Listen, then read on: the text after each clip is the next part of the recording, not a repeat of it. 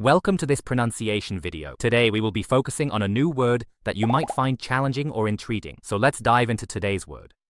Zoge, which means, Ivory in Japanese. let's say it all together. Zoge. Zoge. Zoge. One more time. Zoge. Zoge. Zoge.